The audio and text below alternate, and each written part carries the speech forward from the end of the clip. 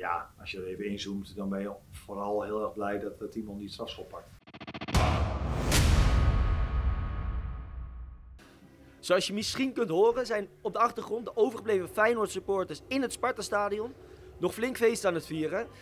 Hun ploeg won namelijk de Rotterdamse derby met 1-3.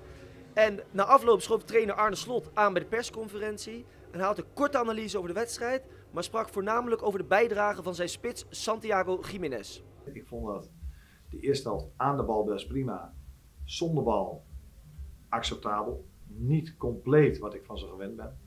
Uh, dus, uh, maar dat was de tweede helft wel weer helemaal het geval. Heel agressief zonder bal, afjagen, terugsprinten. En aan de bal was het ook de tweede helft uh, prima. Jiménez nu uh, niet opscoren in de Eredivisie, scoort zes uitduels op rij bij Feyenoord. Wat vind van zijn ontwikkeling als je kijkt naar het begin van dit seizoen en waar hij nu staat?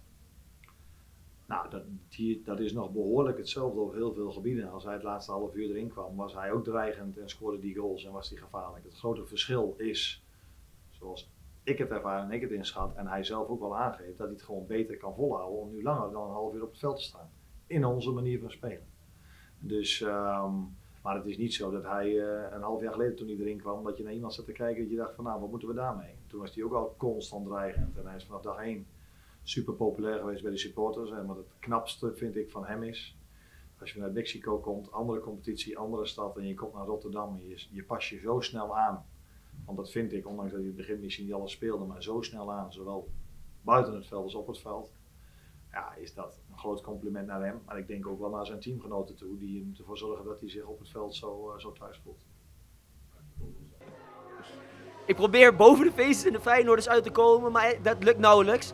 Um, ik wilde jullie vertellen dat een ander belangrijk moment in de wedstrijd de gemiste penalty van Sparta was. Op slag van rust kregen zij namelijk de kans om vanaf 11 meter aan te leggen. Maar deze inzet werd gestopt door Feyenoord-keeper Timon Wellenreuter. En na afloop van de wedstrijd uh, werden hij en zijn trainer gevraagd naar dit moment.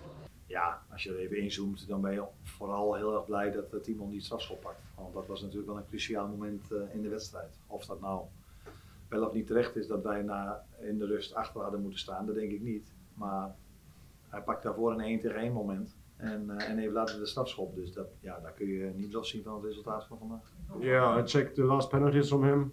Um, always before the game. Um, from the guys who are possible to take the penalties. And um, I had a feeling before the game. Um, I think the last two he shoot in the other corner. Then one he shoot in the middle. So I was hoping he didn't. He don't shoot in the middle. And so that's why I went full in the corner. I was hoping that he shoot there. Keep it